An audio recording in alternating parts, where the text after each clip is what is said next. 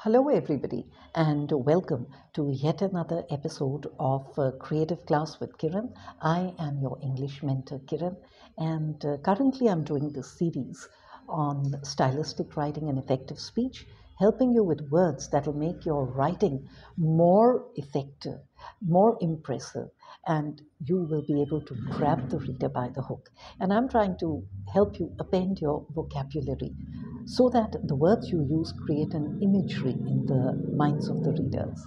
Today, I'll be talking about words that help you to describe food. Look, the kind of words that you use should be able to appeal to the five senses, which is uh, sight, sound, smell, taste, and touch. And food is to do with sight, it is to do with the smell, it is to do with taste, and sometimes even when you touch food, uh, you do get a certain feel. But are you using the right words instead of the plain words like uh, tasty, yummy, delicious?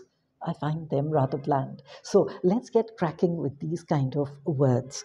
Um, in fact, uh, you could compare a dish to a picture, a sports game, a musical performance, uh, you know, because uh, it does have its own special character. But uh, how to describe taste and flavor? Let's begin alphabetically. And uh, this describing foods I'll be doing in three episodes because there are so many words, a plethora of them. Acerbic is anything sour, bitter, sharp, cutting, caustic, acid, mordant, barbed, prickly, biting, pointed. Opposite, mild, sweet, or honeyed. Acid or acidic is the same sharp, tart, sour, bitter, just the opposite of sweet, sugary, and honey. Acrid taste can be considered pungent, bitter, choking, sharp, unpleasant, harsh, cutting, caustic, bitter, vitriolic, mordant, tranchant, sour, tart, biting, acerbic. Aftertaste is the trace, hint, smack, relish, the savor food leaves behind. Ambrosia is the food of gods and Epicurean delight, food fit for a king, delicacy, heavenly spread, gastronomical delight. In fact, uh, this food is uh, something that transports you to a different world. At least that's the feeling you get when you eat this food. And then from this word comes ambrosial, fit for the gods, delectable, mouth-watering, heavenly, savory, delicious, tasty, toothsome, divine. It's not at all distasteful or disgusting. Appealing food, it could even be in terms of uh, the sight of the food and taste. It's attractive, tempting, interesting, pleasing, alluring, likable, engaging, charming, fascinating, and glamorous. It's never repulsive, disgusting, or repellent. Appetite. That's your hunger, craving, desire, taste, ravenousness, sweet tooth, thirst, portion, or passion for food. When we have an appetite for something, we don't find it revulsive, repulsive, or distasteful. And then from that comes the appetizer. That's the tidbit, snack, starter, hors d'oeuvre, finger, food dip. Uh, no, that's finger food and dip, cold cuts, kickshaw, olives, anchovies, canapes, dim sum, aperitif, roll mops, antipasto, crudité. Appetizing from this word, yet again, is something that we find appealing, mouth-watering, delectable, savory, delicious, palatable, inviting, tantalizing, toothsome, luscious, tempting, tasty, enticing. The absolute opposite of nauseating, sickening, repulsive, unappetizing, and revolting. Astringent food is biting, sharp, cutting, acerbic, severe, rough, acrid, mordant, caustic. It is not mild, soft, or gentle. Balsamic is something soothing, balmy, mild, gentle, temperate, tranquil, calm. It is never irritating or abrasive. A biting taste means caustic, piercing, penetrating, stinging, sharp, severe, mordant. It is not gentle, balmy, or soothing. Bitter taste is acrid, tart, sour, harsh, acidic, vinegary, acerbic. It's the opposite of sweet, honeyed, mild, gentle, and warm. Brackish means salty, briny, or saline. Caustic is something cutting, biting, acid, acidic, sharp, astringent, stinging, scathing. It's the opposite of mild, sweet, or smooth. Choice is your selection or pick, but in relation with food, like you say, a choice steak, it means more often superior, excellent, select, top notch, fine, first rate, high quality, cream of the crop, vintage, prime. Delectable food is delicious, tasty, mouth-watering, appetizing, scrumptious, luscious, enjoyable, palatable, delightful, toothsome, pleasing, satisfying. It's not tasteless, disgusting, or nauseating delicious meals and that's something we use very often this term delicious. They are also tasty appetizing scrumptious yummy luscious delectable mouth-watering fit for a king delightful lovely wonderful pleasant enjoyable appealing enchanting charming. And it's not at all tasteless or unpleasant. Divine cooking is something that's really fit for the gods. Heavenly, godly, celestial, great, marvelous, delightful, lovely, blissful, nothing earthly at all.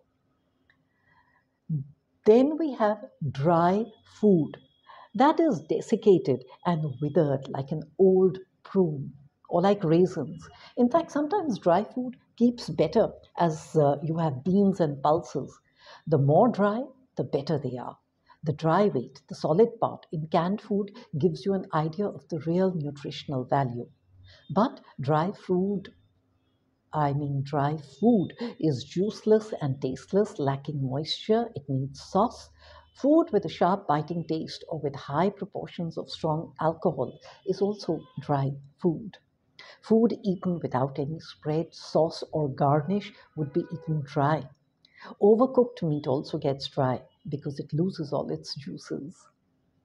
Dulce is sweet, honey pleasant in a gentle way. This originates from the French word uh, that means sweet, and something that is in harmony with your taste or likings. It's never harsh. From this word comes dulcify, something that's been made sweeter or softer in taste. It is adulterated or sweetened. Flavored foods means seasoned food that has been given flavor by normal seasoning or by artificial flavoring. Which flavor? Any but it is sure to give it some kind of taste and experience. And so from this word comes flavorful, full of flavor, flavorsome, tasty, tangy, appetizing, palatable, savory, or sweet. And uh, lesser known words for this would be sapid or saporous. But certainly, this kind of food is not flavorless, tasteless, bland, flat, or insipid. Those are the opposites. Flavorings or seasonings is something added to the food for the flavor it imparts or the act of adding flavor to food. And this comes from adding herbs, spices, condiments, seasonings, or some food additives as different flavorings. From this word comes flavorsome, which includes uh, good tasting, full of flavor, specifically pleasant flavor, implying delicious, tasty, appetizing, scrumptious, yummy, juicy, succulent, heavenly, inviting, luscious, mouth-watering, palatable, saporous, savory, maybe divine, toothsome, and tempting. It's just the opposite of distasteful, nauseating, repulsive, sickening, unappetizing, unsavory. So you don't have to say the food was yuck. There are better words to express that. And you don't have to keep saying the food was awesome, man. Come with the right words. Then you have fruity food. That is uh, food that has a taste, smell, or flavor of fruit. Anything tasting or smelling richly of or as of fruit.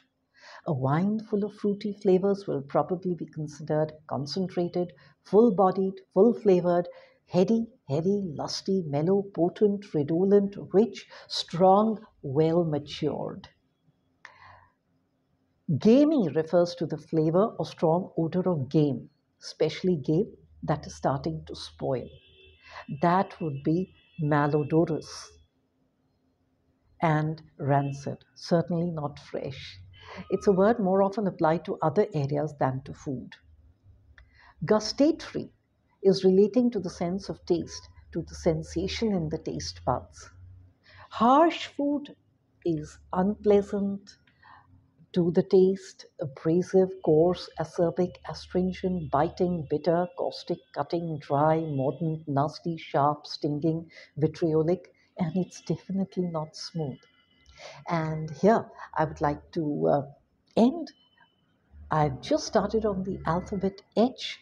I'll continue with more words starting from H onwards in my next episode because I like to serve things in small sizes, small proportions, so that you can digest it better. I hope you found this episode useful.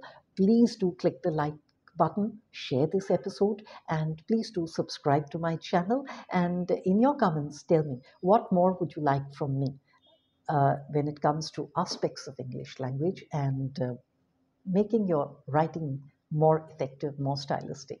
This is your friendly neighborhood English mentor, Kiran, signing off for this episode. The next episode is coming up in a short while.